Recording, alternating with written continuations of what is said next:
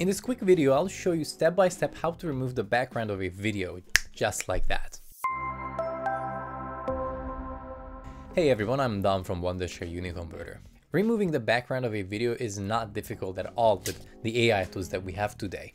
No need for manual masking or for using green screen. For online use and content creation, AI tools are perfectly enough for removing the background of a video. Now, when do you need to remove the background of a video? Well, for one, if you can't film in front of a proper background. Moreover, if you filmed your footage with the purpose of removing the background, and in some cases creating reusable green screen material that you can find on YouTube for instance.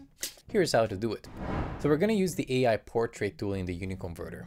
To download the Uniconverter, go to videoconverter.wondershare.com. Make yourself a free account and start using the trial version of the tool. Import your file or files. It can do background removing in a batch and you'll see your batch list on the left side. Do pay attention though to the kind of videos that you use because a clip with a too messy background won't get the best results. Also make sure that the subject of your video is well distinguishable. You will see the background removed immediately. You can go through your batch list and see the live results. On the right side, you can choose a background color, add a custom image as a background, maybe an office space, or you can also choose one from the preset images. Look, there are so many of them. If you want the same background for all of your clips here, click on apply to all.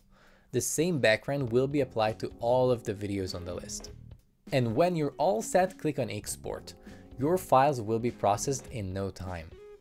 Okay, so that's probably the easiest way to remove the background of a video. So if this was helpful to you, leave a like and subscribe to the channel for more. Thank you for watching, I'll catch you in the next video.